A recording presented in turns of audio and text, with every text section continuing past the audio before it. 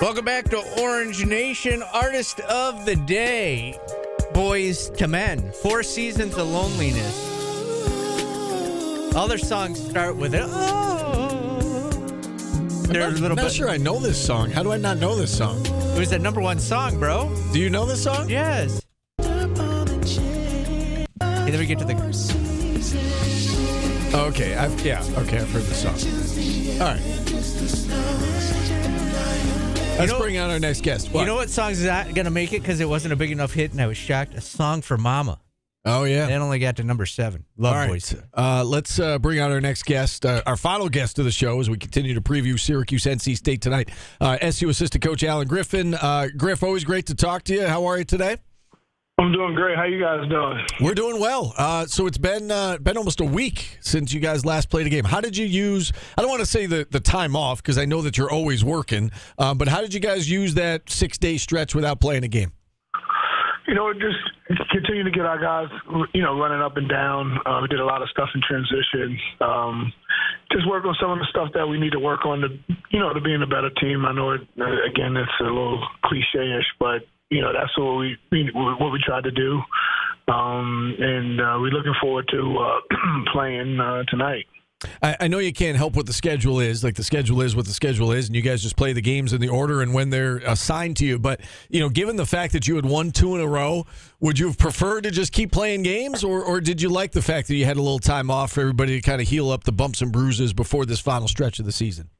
Yeah, definitely in February. Um, you, you know, you want to keep playing games. Um, you know, I can. I probably can speak for a lot of teams across the country, let alone our team. Um, when you get in that groove of playing games every, you know, every two or three days, you, you want to keep that, you know, consistency up. And uh, uh, it, it's fun playing in the games uh, just to see, you know, the gamesmanship uh, that goes on in games, and, and and you know, and especially for our team being a young team, just guys just getting better by game. So, uh, for me, I, to, to answer your question, I probably would have liked to uh, play a game right away. You know, I was watching the Florida State game on TV, and they mentioned that Jesse Edwards was rushing his shot. I don't know if that was true or not, but they said it multiple times. Did it feel to you that Jesse was rushing his shot in the last game? Know? Because I think against Boston College around the basket, he had his way, uh, and, and everything went in. And so now, you know, when you got guys that's big, bigger than you, and you know, just as athletic or more athletic than you, now you, you know your game plan has to be a little bit different. And um, and and I just thought that the adjustment for Jess, you know, he he, he kind of didn't make that adjustment right away. I think in the second half he settled down a little bit, uh, made a couple uh, guys found him around the basket. So. Um, that that's something that comes with uh, you know you, know more experience.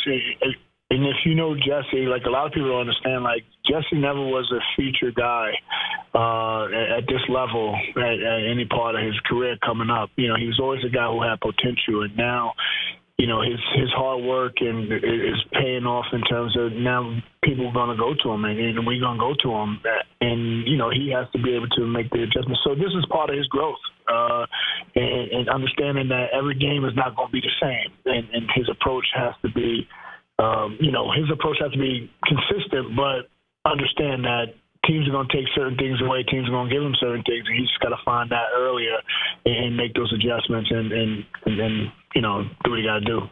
You know, you mentioned the word approach there, Griff. Uh, I'm curious what the team's approach is right now, and I, I think I know the answer to that. I think it's that you know the whole one game at a time mentality. But you know, from the outside looking in, like those of us in the media, fans, like everybody wants to look at big picture, and, and we realize that this is a really important stretch you got coming up. NC State tonight, home for Duke, at Clemson, at Pittsburgh. These next four games, all either quad one or quad two opportunities.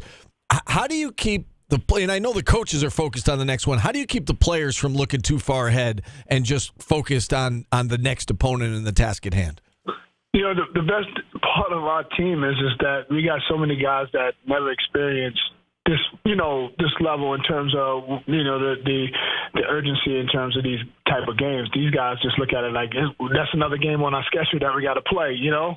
Um, and, and that's not a knock to them. It's just that we're so young that, you know, and we're not a team full of seniors who those guys wake up drinking coffee and looking at the newspaper. You Right. know what I mean? Like, Right. so, so so that so that kind of helps. Uh, but again, you know, we we try to take the everyday approach, um, and, and every day is important, uh, and uh, and that's we've been doing this all year, and I think that that's why our team is starting to look better and, and play better uh, down the stretch is because of that. You know, it just uh, and, and guys. I mean, they don't they don't know. They they haven't been in this fight. Maybe one two guys, Jesse and and Joe, has been in the fire in terms of you know going down the stretch, having to win games to you know keeping your you know quote unquote chances alive to making the tournament, so forth, so forth. So um, it's it's a it's a good thing, and sometimes it, it, it's a bad thing, but at the end of the day, um, you know, coach has done a great job throughout the year, just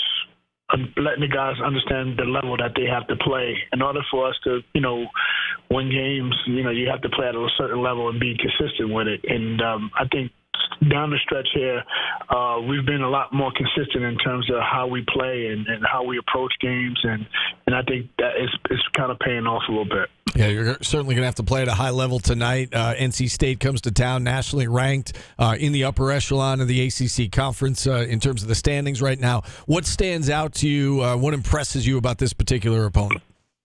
I, I think they have great guard play. I, I think Joiner, Smith, and Morsell is uh, three guards that can play at any level in college basketball and be successful. Um, and, and, and they do a phenomenal job of looking for one another. They can push the pace. They can play at an unbelievable pace. Um, I think they lead the league in like I think fast break points.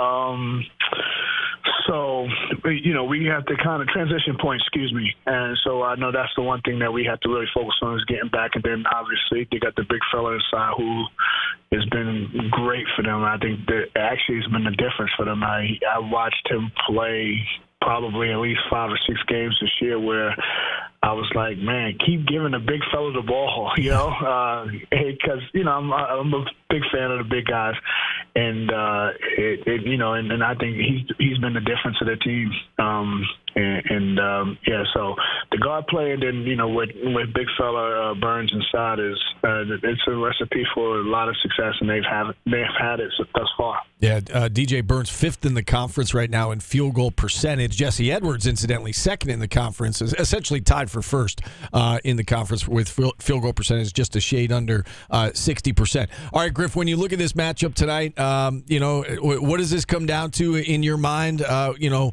how do you guys come out with a win against a, a really good team tonight? You know, especially the the way their team is made up, uh, we got to protect the three point line.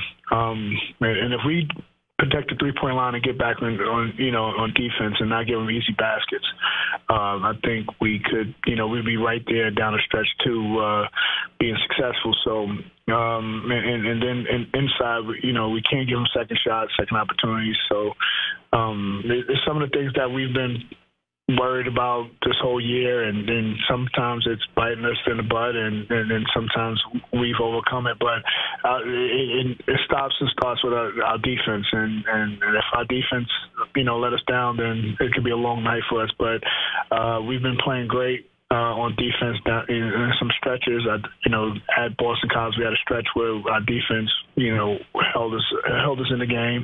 Uh, and then you know, in the second half of the um, Florida State, we made some adjustments, and and and you know, again, it, it got us some opportunities where we can get out. And I think Judah went on that that run.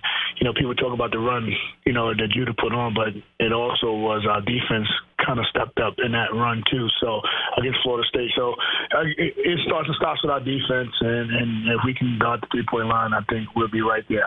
All right, seven o'clock tip tonight inside the dome. Uh, Griff, appreciate you joining us on a game day. Go get them tonight. We'll we'll do it again next week. You know what? I just want to say one thing. Yeah. Um, and and this is just you know we got to all pray for what's happening in Michigan State. Um, you know it's sad, and and I'm I'm frustrated as a dad because you know you send your your kid to school uh, not thinking that that could be the last time you see your kid. And you know three lovely kids who was in college in the classroom whoever they were on campus and they lose their lives you know and, and we need to have tougher gun laws in this country because things like this has to stop we need to do something people who's listening we need to vote better and get people in these places where they can make a difference. And we need tougher gun laws. This is absolutely ridiculous. And that's all I want to say. Thank you, fellas. Griff, I, I appreciate the words. Uh, obviously, tragic situation last night uh, in East Lansing at Michigan State. Uh, and with that, uh, we will take a timeout. We're back after this on ESPN Radio. This is the 3 1.